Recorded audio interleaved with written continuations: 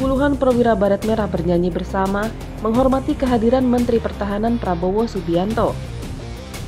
Ternyata mereka bukan pasukan khusus dari Indonesia. Barisan perwira ini merupakan Special Force Command Royal atau bisa dibilang Kopassusnya Kamboja.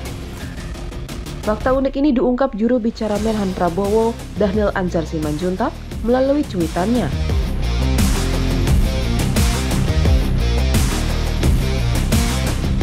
Tidak hanya itu, para perwira Barat Merah yang bernyanyi ini ternyata murid-muridnya Prabowo saat aktif sebagai TNI.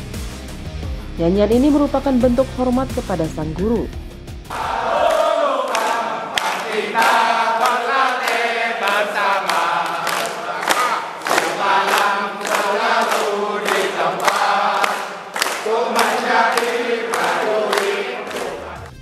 Menurut Dhanil, hubungan yang hangat dengan militer tiap negara merupakan modal kuat Prabowo untuk menjalin diplomasi. Upaya ini menurut Dhanil sekaligus ikhtiar Prabowo dalam menjaga perdamaian dunia.